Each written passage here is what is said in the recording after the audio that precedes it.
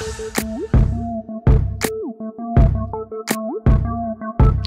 you guys, your girl Euniyce Marie here and today is 3 Minute Wednesday where I give you a quick beauty tip for 3 minutes. So today we're going to talk about something. Bring, come on, come in, come in close because I want you to make sure that, that you hear me, okay? We're going to talk about something that is um a very a very a very serious thing that's going on. I see a lot of it, okay?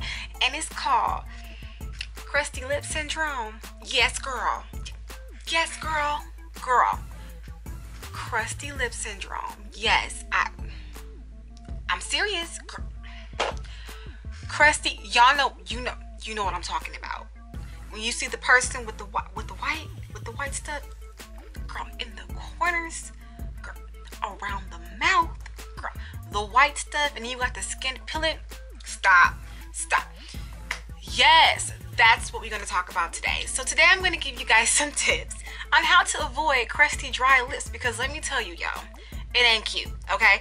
And with some simple imple simple dimple imple imple tips that i'm going to give you you my dear can avoid crusty lip syndrome okay?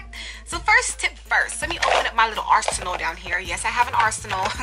Girl you gotta be prepared okay there's something called exfoliator okay?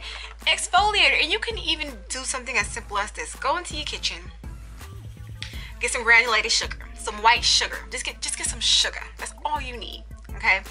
When you in the shower or just take you know just take the, the sugar and just rub it on your lips. Rub it on your lips and that's going to gently take off all that dead skin. Also using your washcloth just take a washcloth and scrub it up, up your lips and that's to remove all your dead skin also I can help you out because I have a lip scrub, Body Care by Euniyce. I know it looks all beat up. That's because I use mine, okay? I use it, okay? So this is a cinnamon sugar, no, not cinnamon, sorry. A coconut sugar lip scrub, and it has all types of lovely shea butter in there, and girl, deliciousness for the lips, okay?